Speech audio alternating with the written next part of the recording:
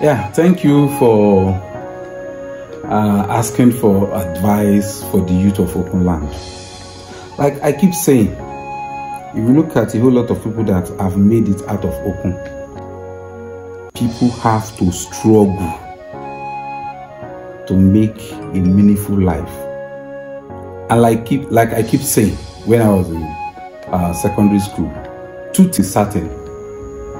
Is either you focus on your education or you go and learn a trade. So, for those of us that feel that our education is what we want to do, we focus seriously on our studies. But it's not everybody that will be willing to go to school. We still have a whole lot of people that have made it in life and it was not through education, but they were focused on other trade.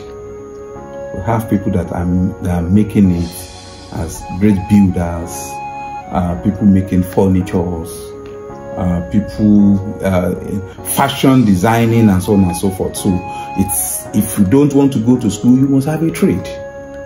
The era of political thuggery, it's over. Most of those people that are using it are using our youth as political thugs. Where are their children? Their children are in the UK, in the US. But when it comes to election periods, they come to you and give you some meager amount of money that cannot even sustain them for few for few days. And after the election, you you will call some of these politicians, and they will not even pick your call.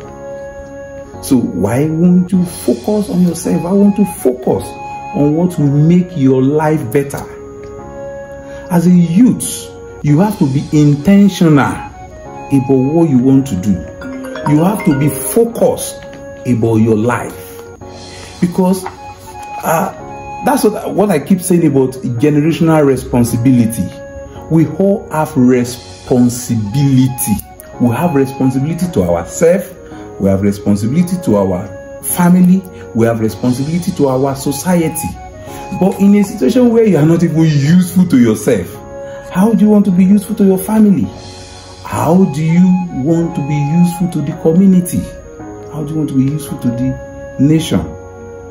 So, as we go into another election in Kogi State, I am pleading and I'm begging Okun youths. We should shun the act of thuggery and we should choose our candidate wisely. Look at their antecedents and look at what they can offer, not what they can take. It's high time we refocus and we strategize ourselves because Kogi State have enough resources that can put us ahead of any other state in this country if you get it right. Thank you.